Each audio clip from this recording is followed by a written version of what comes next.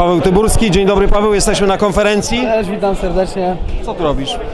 Przyszedłem zobaczyć, wiesz co, jak wygląda ta konferencja, bo ja nigdy nie byłem na High ani na, e, ani na konferencji, ani na mm, gali i po prostu za- dostałem zaproszenie i z niego skorzystałem. Ostatnio skorzystałeś z zaproszenia organizacji Prime Show. Tak, tak, oczywiście. No, generalnie jestem zadowolony z tego, że, że tutaj będę mógł e, zapoczątkować, być prekursorem, to może złe słowo, ale być osobą, która, która na pewno e, zapadnie w kartach historii Prime MMA jako, jako osoba, która zapoczątkowała, czyli dała pierwszą, e, pier, jedną z pierwszych walk na, na gali Prime. Co Cię przekonało do Prime Show? To, że mm, dali wysoką ofertę finansową, czy to, że długo czekałeś na walkę z Fame MMA i się w końcu chyba nie doczekałeś z tego, co, co, co widać? Nie, nie, nie, nie, wiesz co, ani pieniądze, bo jakby dla mnie teraz to jest mało istotne tak naprawdę. E, ja chcę z, walkami, e, że tak powiem, zasłużyć na pewne rzeczy. To nie chodzi w ogóle totalnie o pieniądze. Chodzi o to, że po prostu potrzebowałem bodźca, żeby wyjść ze swoich problemów e, zdrowotnych, psychicznych, e, fizycznych. E, no po prostu musiałem się odbić. Mm, e, Z Prime'em nie jest, e, nie jest koniec, e, Boże, z Fame'em to nie jest koniec współpracy. Jesteśmy umówieni po prostu, że miałem, dostałem pozwolenie na jedną walkę poza Fame'em, dlatego że Fame mm, nie zrobi nam dwóch walk oddzielnych z Piotkiem na jednej gali. E, I z tego tytułu Prime wyszedł z, z propozycją i oczywiście się na nią zgodziłem, dlatego że Piotrek prawdopodobnie no, będzie na 13 walczył, a ja z racji tego, że bardzo długo nie walczyłem, zresztą wiesz, rok czasu, nie mogę sobie pozwolić na to, żeby czekać na kolejną galę, e, czyli gdzieś tam w maju i na niej walczyć e, dopiero za za kilka miesięcy. Ja potrzebowałem już e, bodźca i tym bodźcem okazał się Prime i, i walka na Prime. E, Zobaczymy co dalej będzie, świat, e, świat, życie pokaże, czas pokaże. Na razie żyjemy tu i teraz, jest walka na, na Prime, na i chcę dać dobrą walkę.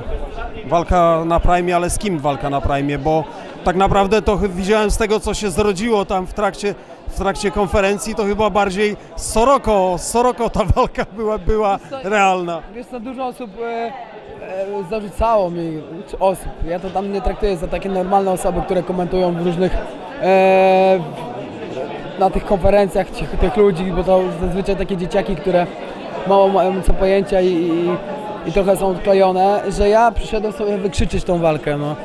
Ja generalnie no, nie, nie, miałem przeciwnika wyznaczonego, ale był Mateusz Morański wolny, którego, e, który chodzi w mojej wadze, więc mu za, zaproponowałem.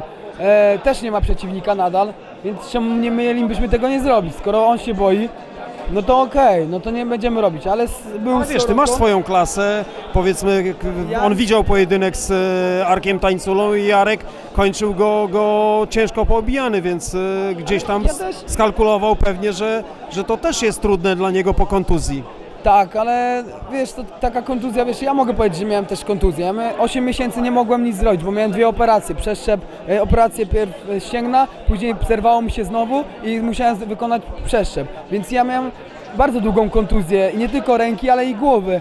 I, i ja też nie wiem jak ja się zaprezentuję teraz, wiesz, ja nie wiem jak mój ciało się zachowa, jak moja głowa się zachowa. Ja ciężko trenuję, ale ja inaczej, czuję się coraz lepiej, ale to nie jest ten Paweł sam, który był, wiesz, pewny siebie, taki na maksa i tak dalej, e, w sensie walce, bo ja, ja tą na tą pewność siebie bardzo ciężko zapierdalam.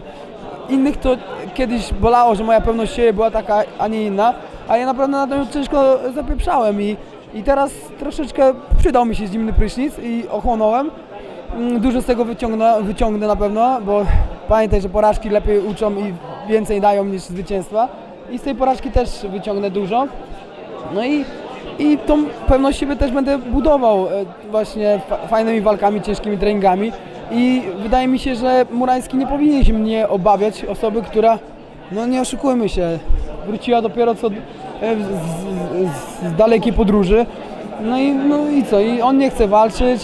Soroko walczy z Stiflerem, gdzie wydaje mi się, że ludzie bardziej by wolali zobaczyć walkę ze mną, no bo Stifler w ogóle facet o pacyfistycznym podejściu. No, jest to kolorowy, tak, nie ma co ukrywać. Kolorowa postać.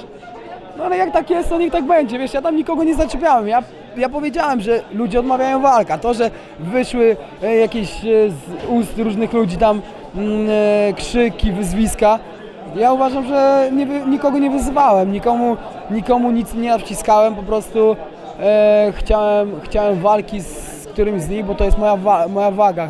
Kiedyś do tego musi dojść, tak? E, no i tyle. Paweł, na koniec dwa pytania. Znaczy jedno pytanie główne, to tak. Kobieta złamała ci serce, e, druga, Nie, druga ja- kobieta nie, zabrała ci twarz. Jedna, kobie, jednej kobiecie to ja złamam serce, za co bardzo ją przepraszam. No tak, to, to E, też tak, i- ale, ale ty też potem to wszystko przeżywałeś. Sam, i ja sam sobie złamałem serce i to jest tak, że no wiesz, no czas może goi rany, zobaczymy jak to będzie. Mm, aczkolwiek no na pewno mi jest wstyd i jest mi bardzo żal tego, że skrzywdziłem tak, e, e, tak zajebistą kobietę. A druga kobieta, no nie pozdrawiam jej serdecznie, wręcz przeciwnie, życzę jej, żeby spotkała ją podobna, e, podobna rzecz albo jeszcze gorsza, bo jak się robi komuś krzywdę z premedytacją, nie tylko jednej osobie, tylko jest to szereg wydarzeń, e, ciąg wydarzeń, to coś z kimś musi być nie tak. Jeszcze próbując e, zrobić z ciebie wariata, to już są zaburzenia takie ciężkie psychiczne. Ja nie uważam się za osobę do końca zdrową, e, ale kumatą i trzeźwo patrzącą na sytuację. A tam to już widać, że zresztą słyszałem o tej pani różne rzeczy, że no szatanek tam w głowie siedzi.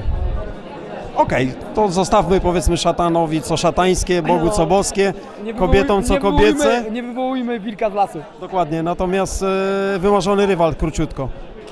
Taki, z którym będę mógł stoczyć, yy, jak na moją pierwszą walkę, taką bardzo krwawą, ale z której wyjdę zwycięsko. Taki rywal mi się, e, mi się marzy i wydaje mi się, że kibicom również. To w 2022 roku Ci tego życzę. Dziękuję bardzo, Bardzo za wywiad. ślicznie dziękuję, wszystkiego dobrego również Tobie życzę. I operatorowi. Wszystkich pozdrawiam serdecznie i życzę Wam wszystkiego co najlepsze w nowym roku. Piąteczka.